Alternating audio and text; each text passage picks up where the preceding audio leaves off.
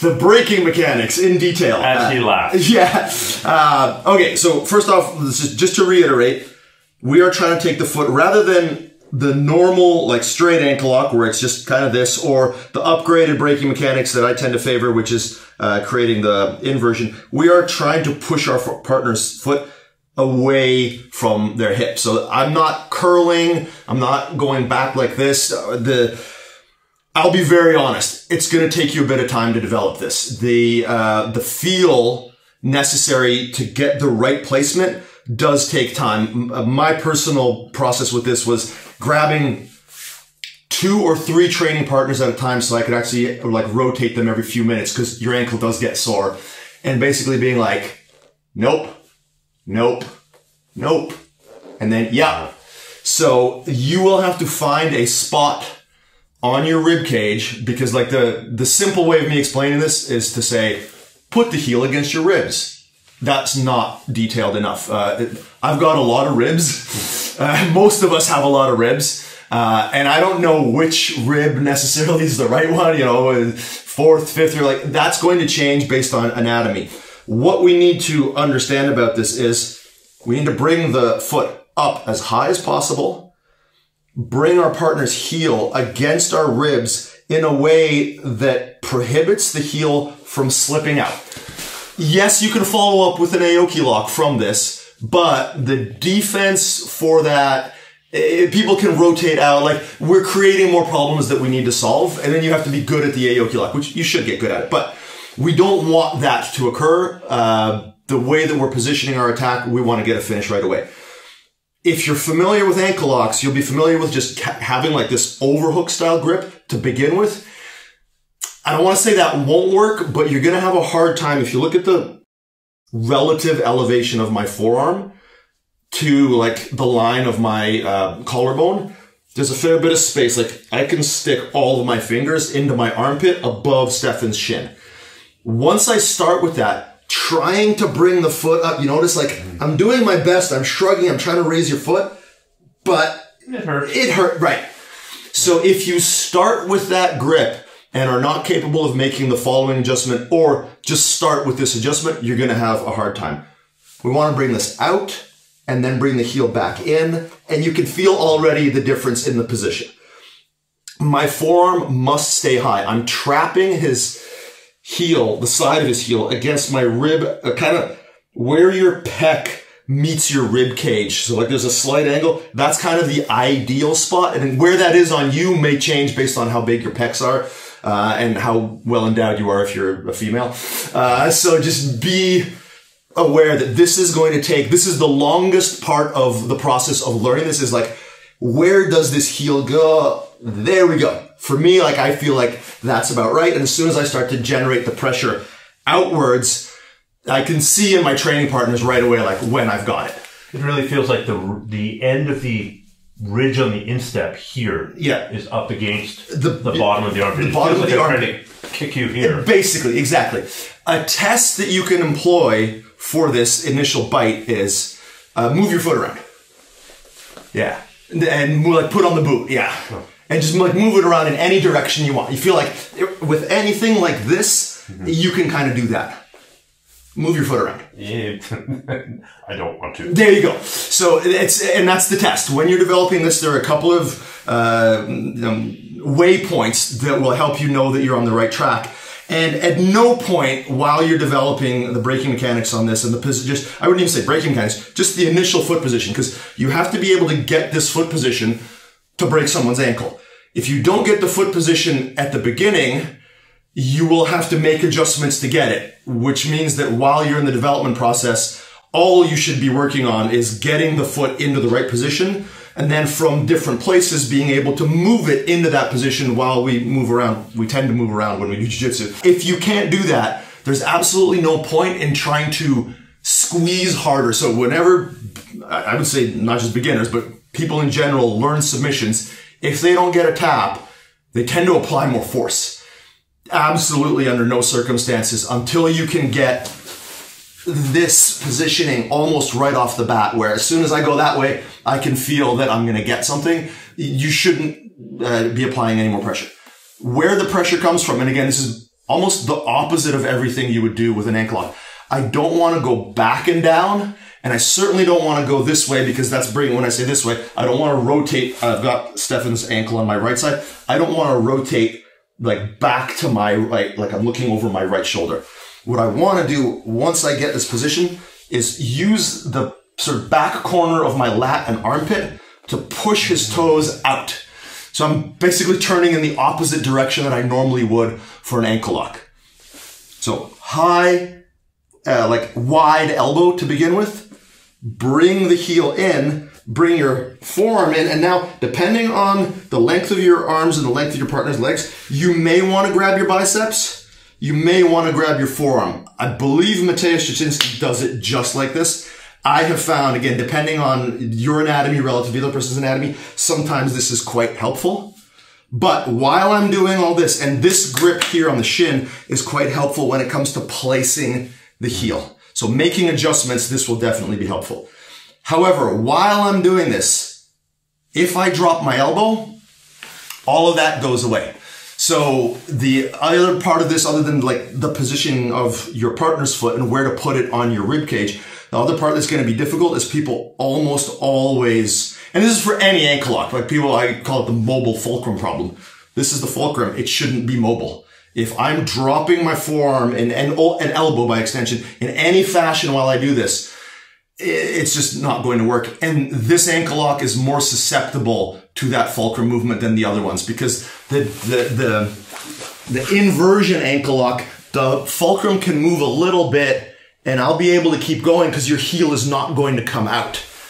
With this, if the forearm comes down a little bit, the heel will start to come out. And either you're able to catch the Aoki lock right away or your partner will escape. So we need to be really proficient at keeping this elevation of our elbow relative to our collarbone and that we're not trying to go back to get this finish. Start pulling your heel out. There you go. Yeah. That's going to be the problem you run into. So like the details on this are significant and they're hard to visually perceive. Like I'm trying, I'm doing my best to describe the action and I've had a lot of experience trying to teach this to people. So I do have people that are getting it based on uh, these directions. But the main issue that I'm having, uh, or that, well, that I'm having, not anymore, I don't have this issue, I've de- developed the technique enough, but I'm having with students is as soon as they feel like they want to apply it, they start crunching down and that elbow drops and the heel comes out. So we need to pay special attention to starting with our elbow almost out like comically farther than you think it needs to be. And then as you slide your forearm back in, try to keep the elevation of the elbow, catch the shin, catch your wrist, keep your elbow up, and then rotate.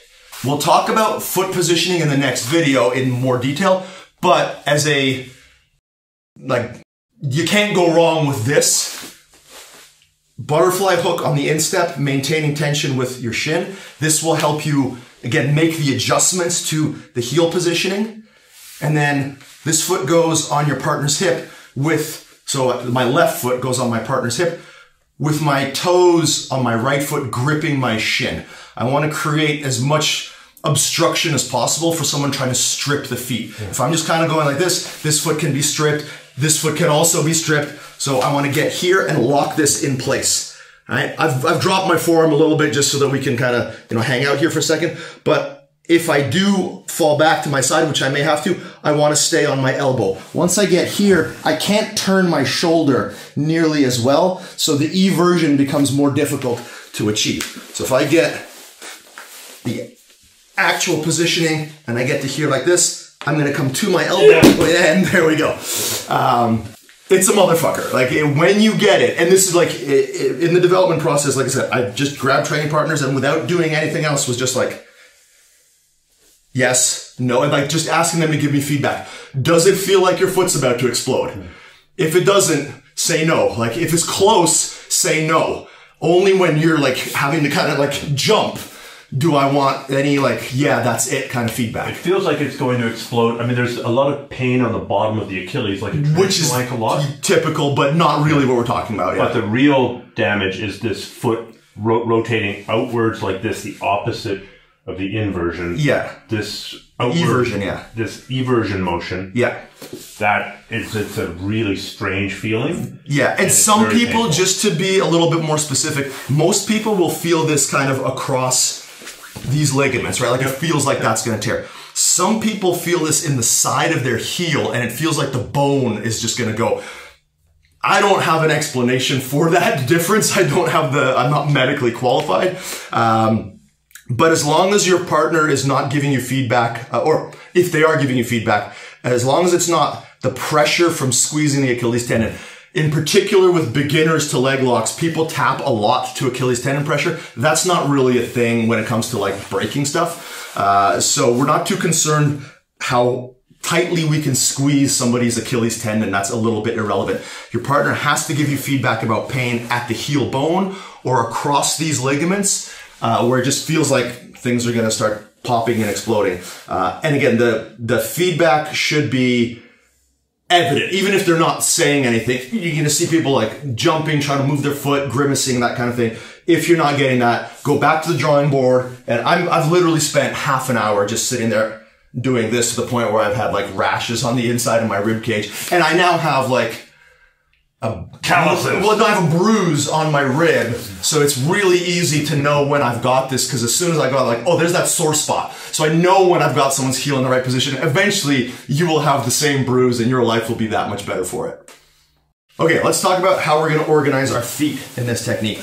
Uh, and not just our feet, but our hips, because where we position our feet is going to help determine where our hips go, and it's going to help determine the distance between our hips and our partner's hips. So when we're applying a shotgun ankle lock, the distance from our partner's hips is dramatically different and a, lo- a lot farther away than with a conventional uh, like inversion style ankle lock. If I was doing a normal ankle lock from standard Ashi, I would want my hips to be like around your knee and like frankly almost as close to your hips as possible uh, within reason.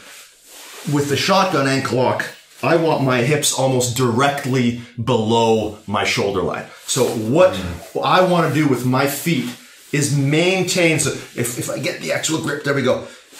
I'll come in a little bit closer with my hip and I'll try to generate pressure. You'll still probably feel it like Tap, tap, it- it's Yeah. it's unpleasant.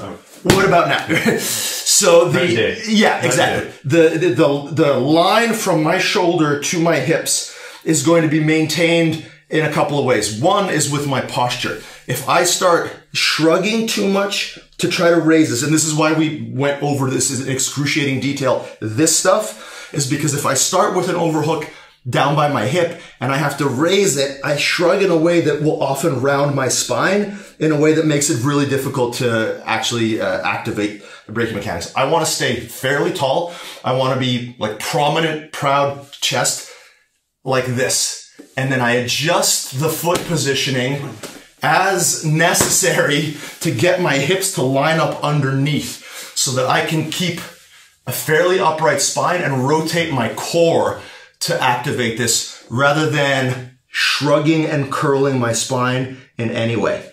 Right? So the feet are maintaining distance. The feet are maintaining the distance aligned. to keep my hips aligned to allow me to stay fairly upright and rotate around the mm-hmm. axis of my spine to create the breaking pressure rather than a lot of curling or back extension type motions. It's more staying in place and rotating this way. I'm not saying there's not back extension. You are going to extend your back, but like once I get all this kind of set up and I get to here, I can start extending my back to that corner to help bend your foot in that direction.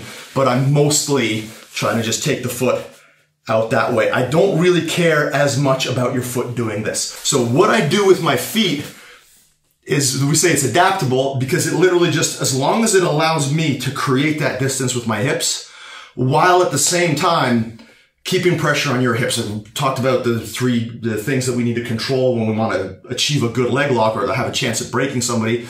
We want to have immobilization or control of the hip. We want some kind of control of, you know, wedging mechanism at the knee, and we want control of the end of the lever. Right? We've got those three things. We can just do them in different ways. So the the, the standard foot positioning is what we talked about earlier, where I'm like wrapping monkey feet around my shin. I can bring my foot to the outside of my partner's hip. Again, same thing, monkey feet curling my heel, you know, making sure not to do something silly like that, as long as I'm hiding my heel. This creates really good immobilization of the hip. I can also just place my foot on my partner's other hip. Again, as long as I've got this and I, there we go, adjust my hip out, I'll get better pressure. Uh, I mean, frankly, you could even do that. Right? Anything that allows you to create this upright positioning and I'm losing your heel, let me get, there we go, that's a bit better. Uh, yeah. And you're always going with butterfly hook on this side? The butterfly hook helps me so much with this adjustment mm-hmm. to get into the position that I'm pretty much always going to do it. Uh, I the exception would be Kyotera. Yes. So the, the, when I'm uh, when I'm attacking like a standard, you know, a shot, when I'm attacking with this grip, I'm pretty much always going to try to put this in place. Uh, if I found myself in a like standard ashi configuration, uh, I may not be able to get the butterfly hook. In that case, I would try to do something like this and just be like, I'm trying to avoid uh, the, the boys, but you know, I might try to get that kind of thing and get my heel back.